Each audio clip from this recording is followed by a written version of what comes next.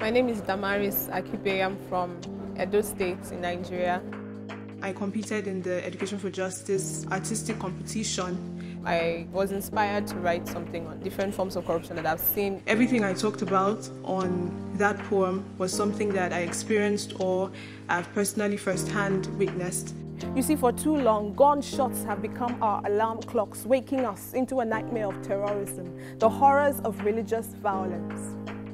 Many of us do not know what an ideal society should look like, and it's this ignorance that causes us not to be able to hold our leaders accountable when the time comes. I used to feel helpless, but not anymore. Our voices need to be heard in places that matter, becoming problem solvers, not issues of concern. Yes, it's time for a change.